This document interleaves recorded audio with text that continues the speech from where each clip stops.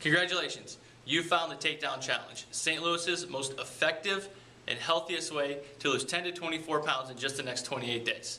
Hi, my name is Tim Detmer, and I'm the owner of Finish It Fitness, where we exclusively offer the Takedown Challenge.